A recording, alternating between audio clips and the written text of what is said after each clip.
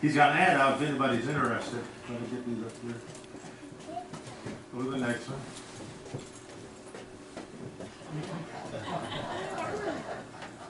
So if anybody's interested, Jim will fix you one up. He's, he's always, his brain's always going, you know, because uh, you need to, need to ride him on more. And then, Sonny, I found a rare picture of Troy. It's an old one, I hope it's clear enough, see what, see what it says. You remember that, Troy? Did you ever get chased with a switch? No. Oh, yeah. He got caught. You, what did you say, Sonny? I said he got caught with the switch. Did you ever deserve to be chased with a switch? No. That's what I figured you were going to say. A little boy was in Sunday school, and the teacher was talking about Adam and Eve and had the lesson and had some extra time. So she asked the little boy, uh, Uh, she asked the whole class, she said, draw a picture of what you've learned, what you know about Adam and Eve.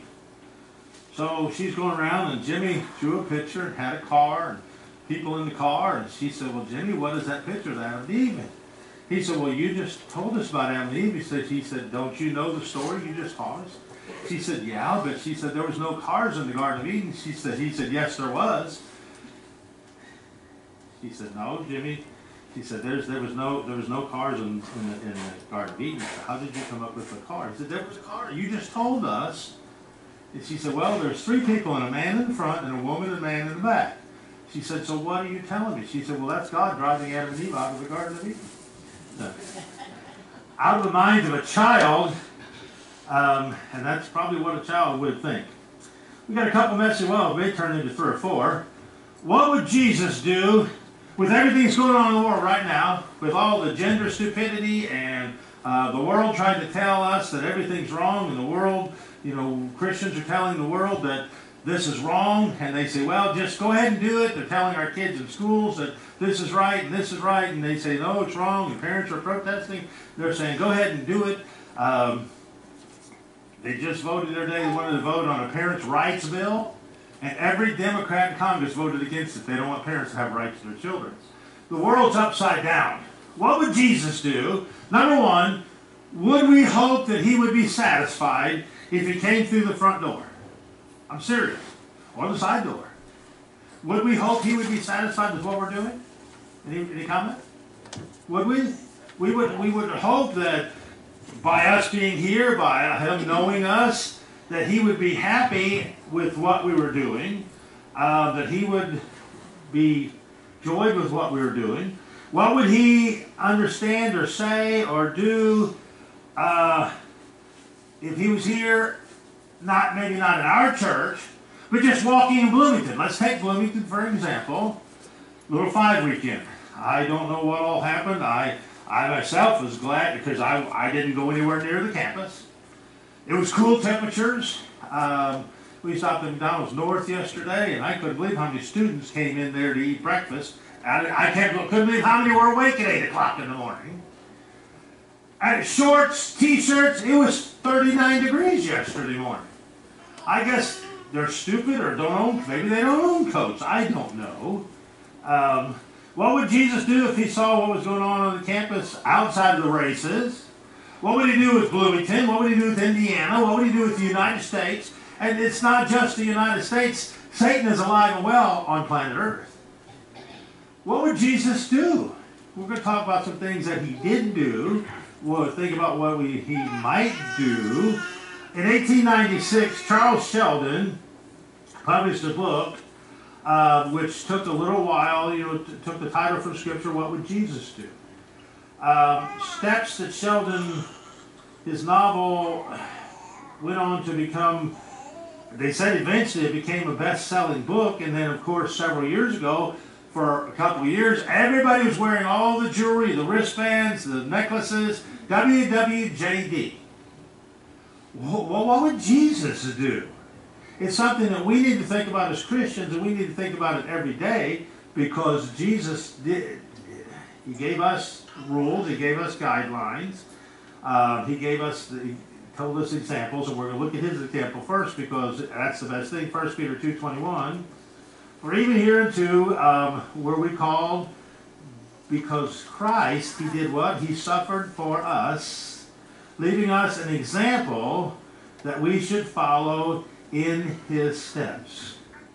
And I said the book was, what, what would Jesus do, but this book was called In His Steps. Um, we should follow in his steps. You've all seen the picture of the dad's footprints. We put it up sometimes at, at Father's Day. And behind it is little footprints, and, and then they catch up with the dad's footprints, and there's a little footprint inside the dad's, and another one trying to get to the dad's. And the example of, we've always got somebody trying to follow us. We always have somebody trying to follow us and do as we do. So, if you consider what, as you said, what Jesus did when he lived on the earth, um, we want to follow his example. And in this message, and of course, there's going to be another one that may turn into four messages. But number one, and there's going to be quite a few things to write down in the back of your bulletins for those of you who don't know, but Jesus obeyed. Now, obedience. I remember from third grade watching a Jiminy Cricket movie. Miss Brissette was my teacher. And this movie, Jiminy Cricket sang the song O B E D I N C E. I've remembered that since third grade, and that was, let's see, I was seven or eight, so that means 58 years ago. That's a long time. Right, Ulysses? 58 years ago. Um, that's a long time ago. But I remember that song, and, and another one, E N C Y C L O P E D A. He, he, Jiminy Cricket spelled encyclopedia, and I remembered it. Uh, fifth grade, we had to, one of our words was anti-disestablishmentarianism. I still spell that. Jesus obeyed. Do we like to obey? I want to be, I want honest answers. Do we like to obey? Seriously. Sometimes, Sometimes, that's a good answer. Sometimes we don't want to do what somebody tells us to do. Even as adults. We don't. Spouse wants us to do something. A child wants us to do something. A child's told to do something. They don't want to do it. This human nature says, don't do what you don't want to do. And the world's telling you you can do whatever you want to do. Don't worry about what anybody else says. But that's not what the Bible says. Jesus was an example to us. He obeyed. I've said this, I use the illustration many times. Could you imagine being Jesus' brother or sister? You're a perfect little child. You never get in trouble. Mom never yells at you. She loves you more than she loves me. Bill Gates said he came home from school one time, and he said he knew how much his parents didn't love him. He said he came home from school one time, they had moved. Did he tell him? He was joking, of course. Um, but could you imagine G being Jesus' sibling? The rivalry. You never do anything wrong. You get away with murder. Nobody ever says anything to you. Well, he'd never sinned. Um, he never did anything wrong in order to get yelled at. Luke chapter 2, verse 40. And the child grew, and he waxed strong in spirit, filled with wisdom, and that wisdom allowed him, of course, as God to do things, but filled with wisdom, and the grace of God was upon him. Well, that makes a difference. All right. What would Jesus do if he came in here? Would he be pleased with our lives? Oh, yeah, it's Sunday morning. We're at church. Where should we be? In church. Would he be pleased with our lives during the week? Would he be pleased with our lifestyles during the week? A lot of questions to ask, but Jesus obeyed. So he wants us to obey. The Bible says, go into all the world and do what? Preach the gospel to how many creatures? To every creature. Now, we can't get to every creature. We support several missionaries around the world who, in Hungary, in the Philippines, in England, they, they, they're able to go places that we can't go. They're able to take the gospel where we can't go. We support Connie, and of course, she's retired now. She was in Africa, Becky's sister. Um, she was able to go places. Um, there were some other girls that she worked with, other missionaries over their families, that they were able to take the gospel to those people in Africa that we could never do. That we can never do. Um, Ulysses is from Mexico. Um, their family got saved, and he's able to witness and, and take the gospel to his people and friends and relatives that he has that we'll never, never be able to go to. But it says, go into all the world. So next we know that he was obedient because, a few things here you see on your slide, He became strong in spirit, as we just read. Now, our spiritual lives are so important that they should be number one. Am I right? Now, you're all going to leave here today. As I said, stay for Sunday school, Dave. We're going to have a good message on the bread of life. But you're all going to leave here, and at noon, 1 o'clock, what's one of the first things we do when we leave church? What do we do? We go eat. We go to a buffet, or we go to a restaurant, or we go home. We fix lunch because our bellies are saying, hey, I haven't had anything since breakfast, I need something else. I need something to sustain me, so we're gonna go eat wherever it is. Wherever you take Barry, by the way, pray for Barry, he has gout and he's in a lot of pain. He's having trouble harvesting his stuff and getting things planted, that's why I haven't had anything the last couple weeks back there, he's got a giant. He's got a greenhouse, square footage is about, uh, the whole L side shape of our church, the square footage is about the whole thing, it's a big. Uh, so pray for Barry, he has been able to get up and do things, but every time, no matter where you go, eat with Barry, I don't care if it's a sandwich, I don't care if it's a burger, he says, he always says, thank you for the pizza. I don't know why, we get in habits of doing things, he says, thanks for the pizza. Um, but our spiritual lives, we're gonna feed our bodies, but our spiritual lives, if they're not up to par, if they're not strong, you could feed your body all you can, all you want, but it's not gonna do any good. We have to be strong in spirit. So Jesus was strong in spirit as an example to us. Remember, he was God, but yet he was the Father. He was, he was a human being. Um, he was filled with wisdom. We get our wisdom from the Word of God.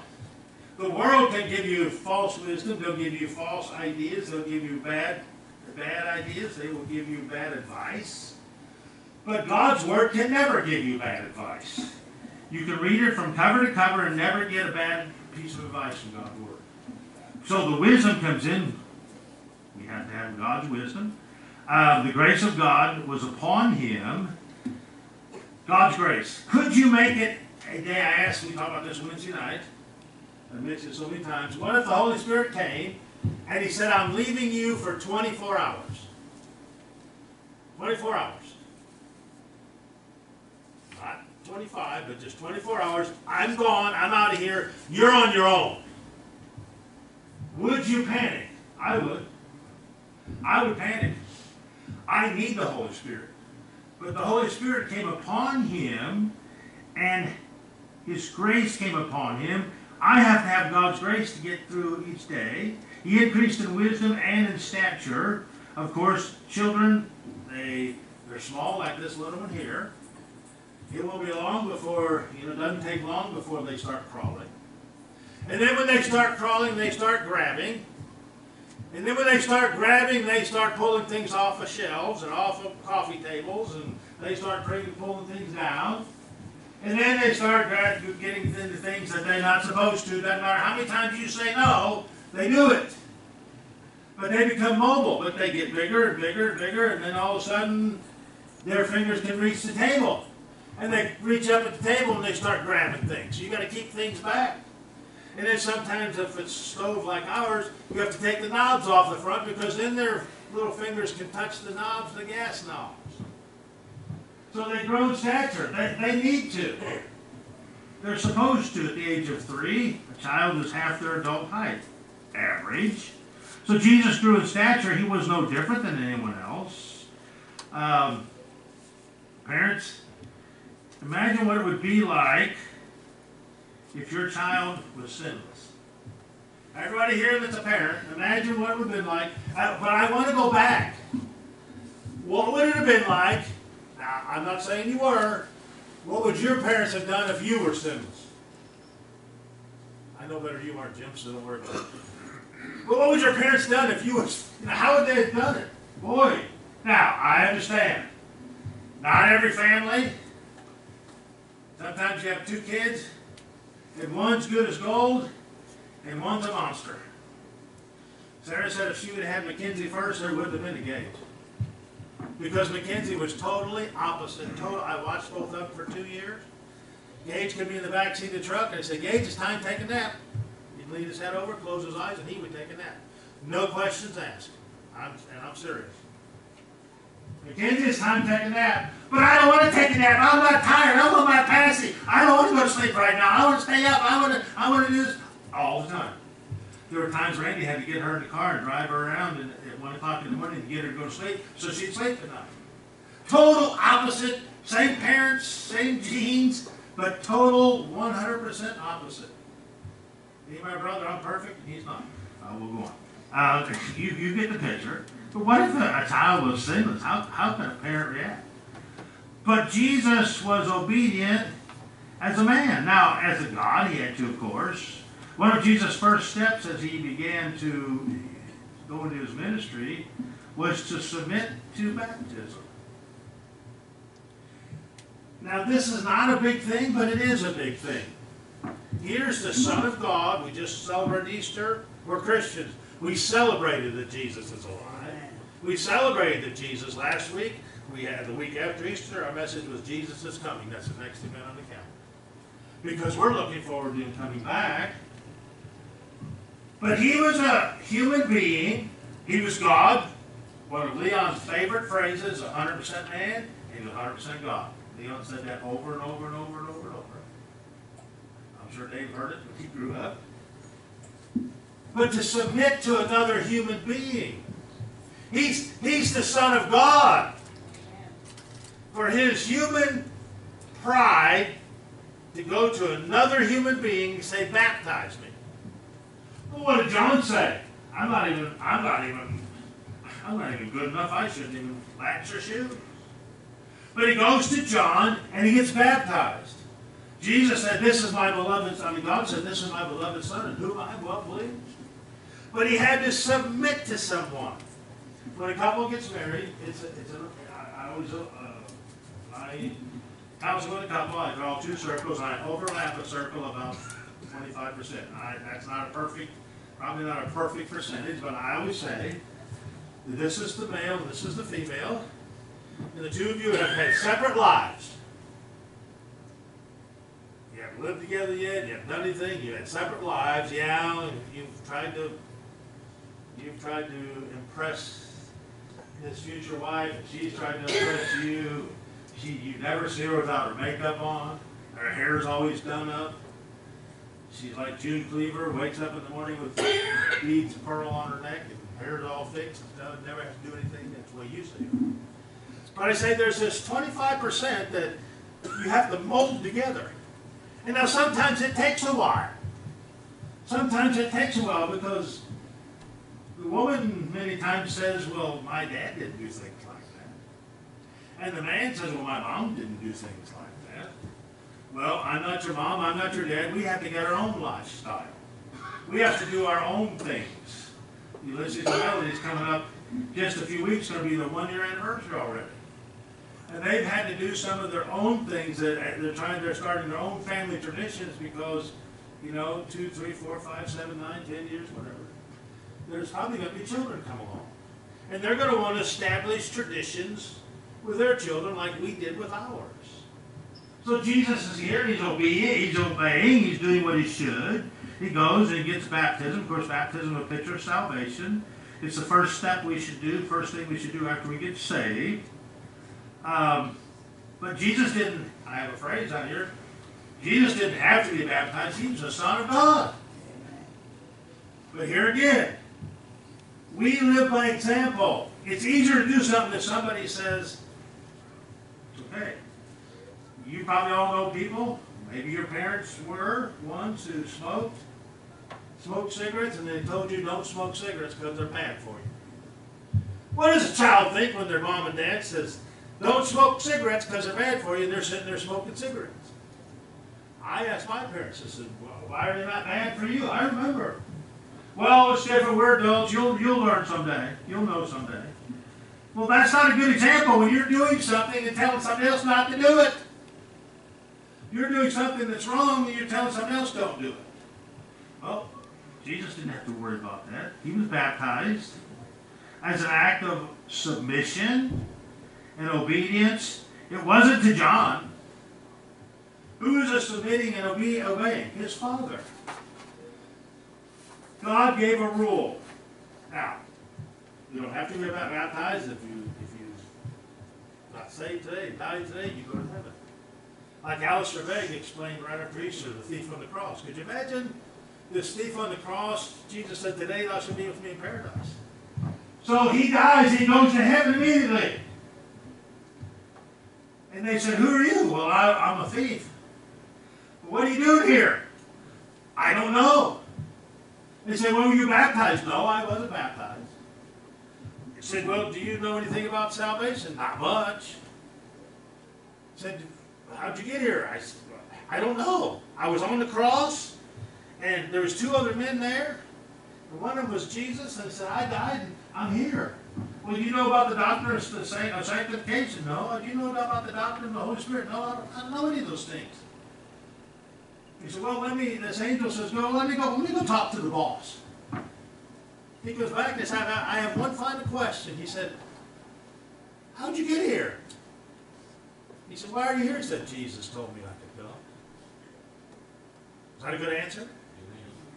He didn't do all the other things. He didn't get baptized. He didn't go to Bible college. He didn't study his Bible. But the Bible said, accept me as your heavenly, as your, as your Savior, and you could go to heaven. He said, Jesus said, when were you going to be with me? Today. Not tomorrow, not next year.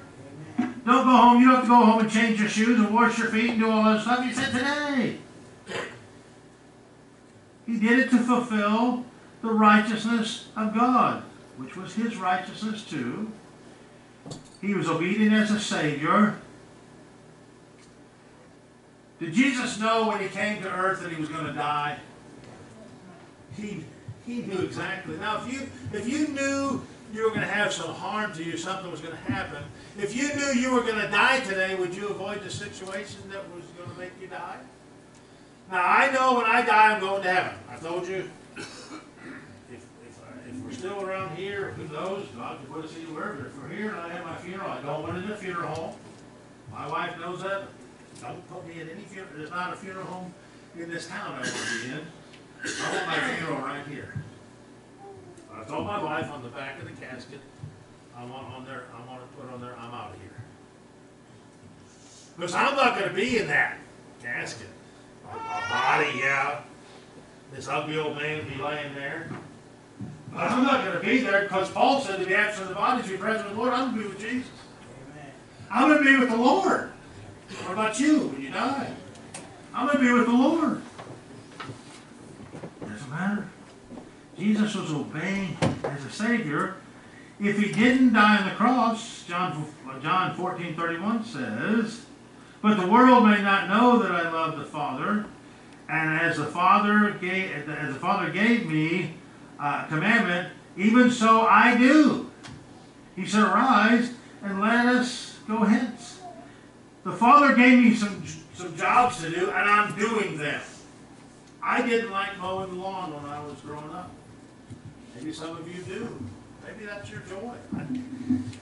If I had a riding lawnmower or a power mower, I may have, but I had one of those wheel mowers called R-E-E-L, not R-E-A-L. Back and forth, back and forth. How many of mowed with those things? How many wish you still had one? How come your hands went down?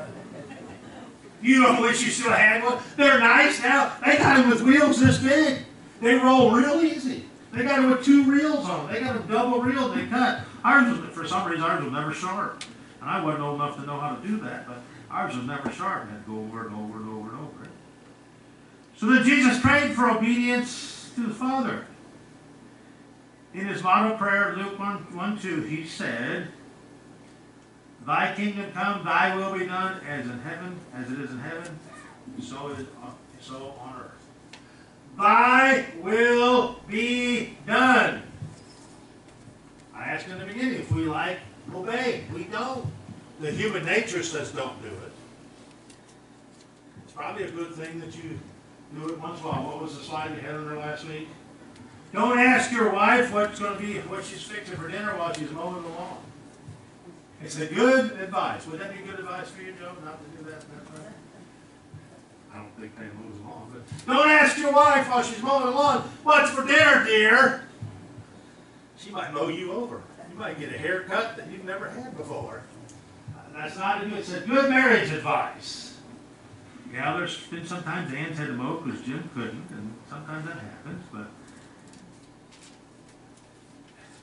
Jesus prayed for, he, he, he obeyed. Look at the next slide. Jesus was obedient to death. Now, of all things he could have skipped, I do not know how a non born again person, a non Christian, can look at life and face death. And I'm serious. Because I am not afraid to die. I don't want to necessarily die today. Our goal is, as probably all of you other grandparents, our goal is to see all of our, all seven of our grandchildren saved. That's our goal. We want to see our seven grandchildren born again. To know that they're going to be in heaven with us. We know our two children are. We want our grandchildren to be saved. We want them to be saved. Lily and Lily and Kylie hit it off the last couple times they were here. Lily keeps asking. She asked me again this morning. When is Kylie going to be here? I her I'm going to get with her and FaceTime Kylie sometime so she can talk to her. She wants to see Kylie. I said, it's going to be a couple months, summer, they're in school. And they didn't start school till after Labor Day, so they don't get out till like June 20th. So it's going to be a while. Anyway, they're, they're friends. They, they, they, Lily keeps asking about Kylie. She wants to see Kylie. They just, they're about, to- the, Kylie's a little older, but she's, they're just about deciding. But death! Before our grandchildren die, before we die, I want to see them saved. I'm not afraid to die, like I said. I don't want to today. I know, because on December 3rd, 1972, at about noon, I went into the pastor's office in St. Louis, Missouri, Victory Baptist Church, 1442 Hudson Road, and I asked the Lord to save me. How many of you did that at some point in your life? Raise your hand. Yeah.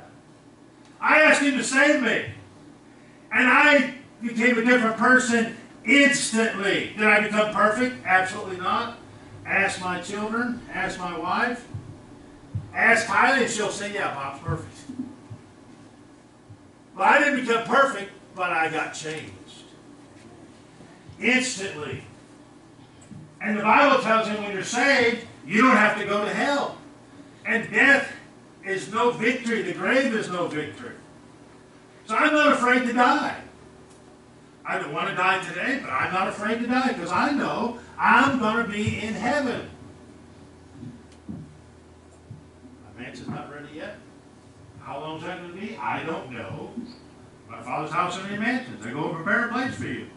If I go and prepare a place for you, will come again and receive them myself, that where I am, there you may be also. Jesus promised. We talked about this a couple weeks ago. We've all made promises that we failed. We, we didn't do it. I'll be there at 7.30 to pick you up when we oversleep and not there. I'll do this for you next week and we forget. I have to use Alexa. I have to use Siri. I have to keep, keep reminding myself, remind using something else because I'll forget. If I don't put my appointments on my phone, I'll just doctor's appointment six months from now. Ain't gonna happen if I don't remember. Now, they remind you too. On May first, I gotta get a wisdom tooth. I didn't even know that was a wisdom tooth back then. But there's a tiny, tiny, the doctor said last time, there was a tiny, tiny hole in the side of the wisdom tooth at the gum line, you can't fill it in. So I'm gonna have to get it pulled. That Wednesday night, I don't know, somebody had, had to teach that night, I don't know what's gonna happen by then. But they've already sent me reminders about that appointment. It's not till a week from Monday. They sent me a reminder two weeks ago. They want to make sure you're there. But I'm glad they're doing that because I would forget. I would forget. So Jesus was obedient to death. He went to the cross. Matthew 12 50.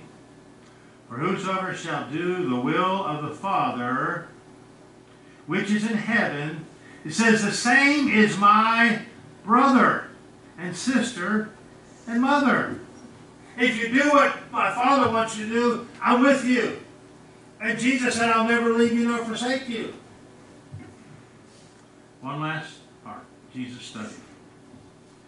The Word of God, of course, permeated Jesus' life. He, he quoted the Scripture over and over and over and over and over. Of course, who gave the men the words to write in the Scripture? Where did they get it from? The Holy Spirit. Of God the Father, not the Son, not the Holy Spirit. Three distinct entities, yet one. So he knew the scriptures, he was part of that. He gave them what to write. But he studied them too. Luke 241 to 51 records the story of how Jesus, at the age of 12, was in the temple. And he was teaching the scholars. A 12 year old. His parents went on. They went on their travel they found out where's Jesus. Oh no, I thought he was with you. Brother, sister supposed to watch him. I don't know. I, I it's not my day to keep track of it. Dale Red one time went left church and Bobby Horton was on sleep in the pew and they got halfway home to realize They didn't have Bobby. He was here asleep. Abandoned. Shame on you, Dale. Any of us would do that if we didn't, if we didn't think about it. Where's Bobby? It's awful quiet. Oh, he's at church sleeping away. There was times our children fell asleep here. One Wednesday night, me and Becky and brother and Mrs. Eckers sat here and talked till almost midnight on a Wednesday night. The kids fell asleep on the pews. We took them home though. We took a teen trip one time, and Chris, we told Chris Monk, we said, we're gonna bring back the same number of kids.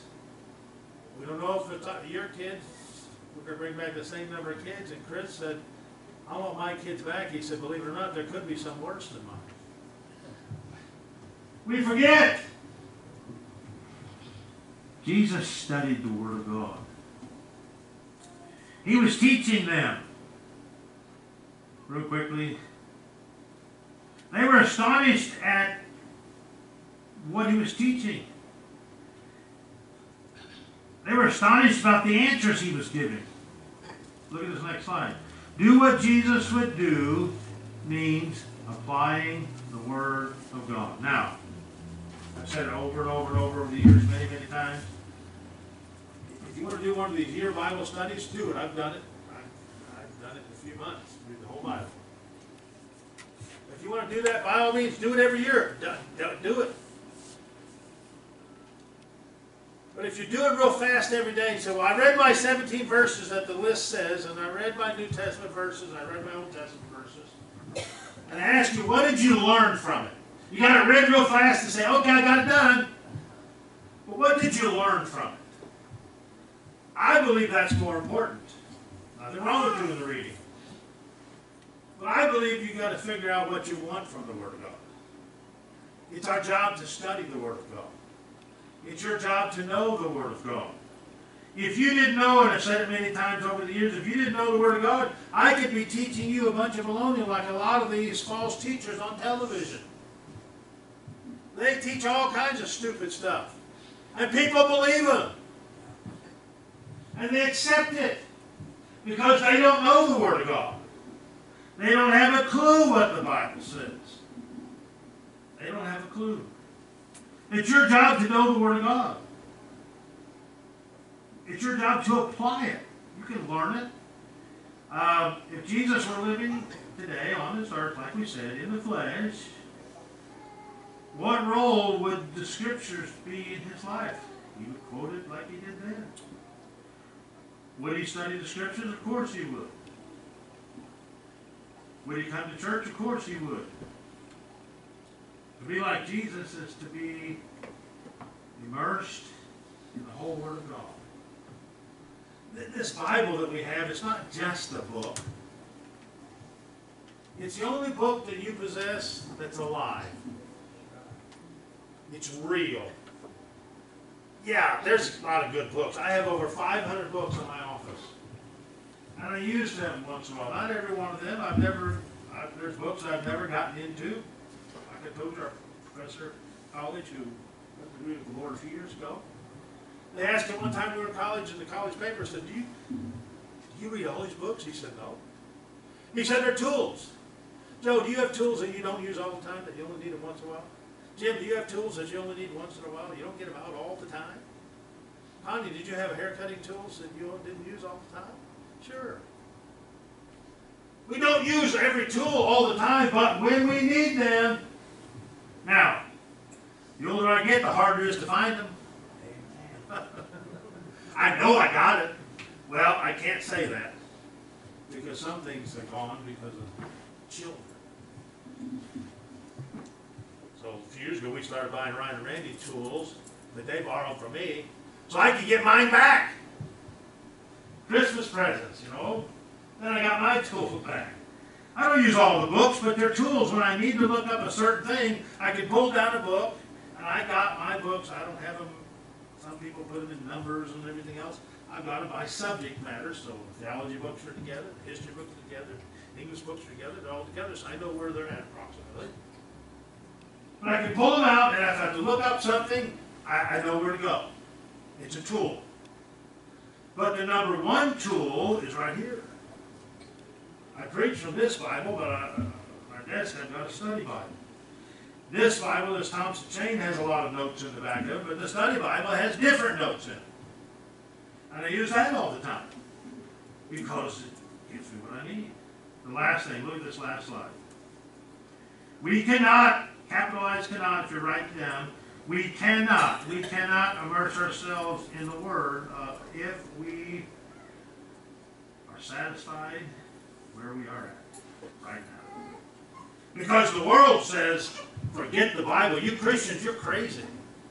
I told them last week I saw a video. The FBI just admitted that they are infiltrating churches all over the United States. Because Christians are the enemy of the state. If the Lord doesn't come, you better be praying for our country. Am I right? Because if the Lord doesn't come, we may be told sometime that we can't even come to church. We may be told we can't preach this and that. We've got a corrupt government. We have a corrupt world. Satan is alive and well on planet Earth, and he wants to shut us down. Almost every church I know, every pastor I know said they lost people during COVID because people were afraid, instead of using their faith, they're afraid to go back to church. They'll go to ball games and sit there with 50,000 people. They'll go downtown to an event, they'll go to a restaurant with all these people, but they won't come to church because they might get sick. It's an excuse. We have to immerse ourselves in the Word of God, and if we are happy where we're at, we're not immersing ourselves because we can't stay in this world. We can't be like the world. Be ye separate, saith the Lord. So what would Jesus do? Let's stand with eyes bowed, heads bowed, eyes closed. We're not going to have a piano. We're not going to sing today. Just a challenge. If Jesus came up to you and watched you this week, what would he think about you? What would Jesus say? So we are supposed to be like him. Always pray before we leave our church and we ask God to put somebody in our path that we can be a testimony to. We can pay something forward. We can be a testimony of the Word of God. We can invite them to church. Christian, what can you do for the Lord? As far as I know, everyone in this building is a born again Christian, except the little ones. So, Father, I'm going to ask you today to challenge all of our lives, mine included. What can we do for you? How can we serve you better this week? We do ask you to put somebody in our place, in our, in our path, not by circumstance, not just by happenstance, but put somebody in our path that we can be a testimony to. We can say, hey, do you know the Lord Jesus Christ? Do you know that Jesus can help you? Father, use us as your children. Use us in a mighty way, and all God's people say.